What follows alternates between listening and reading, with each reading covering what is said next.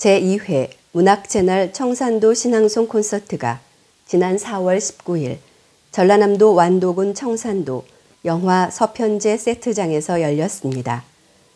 노란 유채꽃이 만발한 아름다운 풍경을 배경으로 낭송가들은 저마다 아름다운 목소리로 시를 낭송했는데 때마침 찾아온 관광객에게 큰 선물을 안겨줬습니다. 1박 2일 일정으로 진행된 이번 콘서트는 명사심리 해수욕장과 완도타워를 탐방했으며 영화 서편제 세트장에서는 진도 아리랑을 부르며 북춤을 추기도 했습니다. 뉴스를 마칩니다. 문학채널 이삼남이었습니다.